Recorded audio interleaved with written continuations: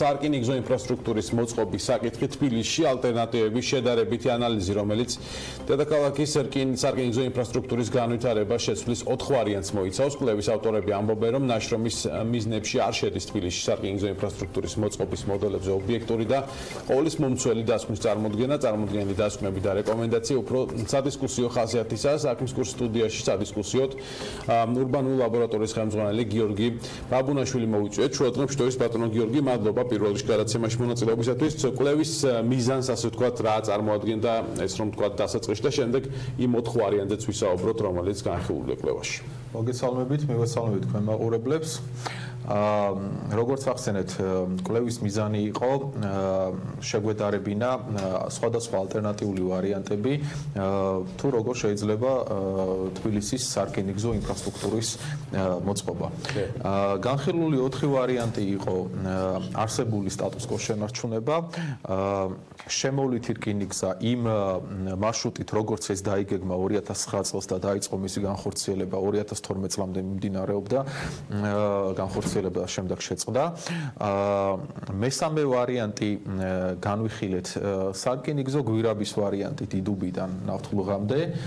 აა რომლის ფარგლებშიც მოხდებოდა ცენტრალური სარკინიგზო სადგურის ფუნქციის შეცვლა, გაუქმება და მთელი სარკინიგზო ასე ვთქვათ მაგისტრალი გადავიდოდა ამ მონაკვეთზე გვირაბში. მოცემული კვლევის ასე ვთქვათ თანახმად პირველი ვარიანტი არსებული სტატუსის შენარჩუნება და გადატანა ასე ვთქვათ შემოთერ რკინიგზის პროექტი 2009 წლის ვარიანტით საკმაოდ უარყოფითი შეფასება აქვს რკინიგზის გადატანას როგორც ასე ვთქვათ სამგზავრო ასევე სატვირთო მემართულებას. რატომ მიიღო უარყოფითი შეფასება 2009 წლის ვარიანტი? კი ბატონო, არის უბრალოდ დაამთავრებ მეოთხე ვარიანტი იყო განხილული მეოთხე ვარიანტი იყო არსებულ მარშრუტზე მხოლოდ სარკინიგზო მაგისტრალის შენარჩუნება ორლეანდაგიანი სარკინიგზო მაგისტრალი ხოლო დანარჩენი ინფრასტრუქტურა სამგზავრო სადგურის გარდა გადატანილი ყოფილიყო ქალაქის პერიფერიულ შედარებით ნაკლებად ატვირთულ რაიონებში ძირითადად ავჭალის და აფრიკის დასახლების რაიონებში. აა ესე იგი შედარება მოხდა 4 განზომილების განზომილების მიხედვით გამოვიყენეთ მულტიგანზომილებიანი ანალიზის მეთოდი. პირველი ეს იყო урბანული განზომილება, ანუ ქალაქის პერსპექტიულ განვითარებას რა შეცდენს ესა თუ ის ვარიანტი, რა ახალ რესურსებს ქმნის ქალაქის განვითარებისთვის. მეორე იყო უსაფრთხოების კომპონენტი, რადგან მოგეხსენებათ ძირითადი ასე ვთქვათ ტვიტბრუნვა რკინიგზაზე ეს არის ნავთობპროდუქტები, რაც საშიში პროდუქტების კატეგორია კატეგორიას განეკუთვნება განეკუთვნება და გაივლის დასახლებულ პუნქტებთან უშუალო სიახლოვეს და რაც გარკვეულ რისკებს შეიცავს, რა თქმა უნდა, ბუნებრივი მოსახლეობისთვის.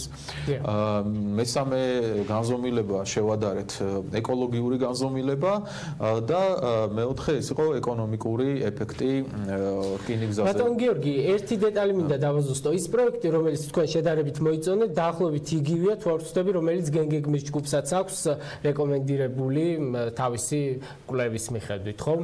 გენგეგმის ჯგუფს რეკომენდირებული აქვს რკინიგზის გადატანა, მაგრამ არ არის ეს გენგეგმის ჯგუფი არ იძლევა პირდაპირ რეკომენდაციას, ეს იქნება გვირაბში თუ იქნება შემოვლითი მარშრუტით.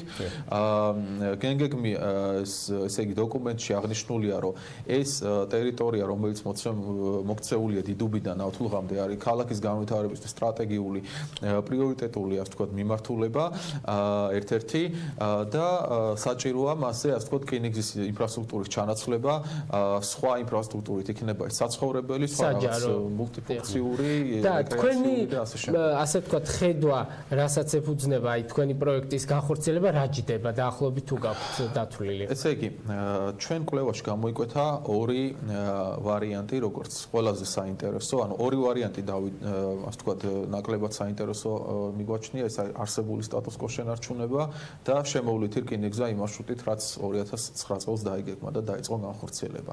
რიგი მიზეზების გამო.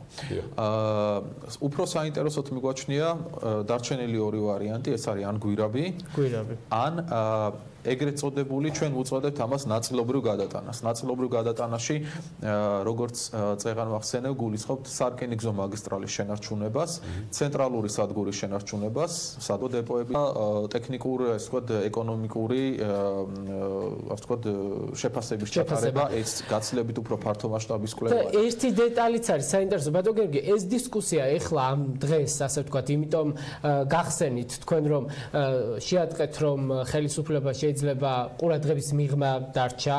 პროექტი ან ყოველ შემთხვევაში საზოგადოებამდე არ მოდის ინფორმაცია რა ხდება ამ პროექტთან დაკავშირებით.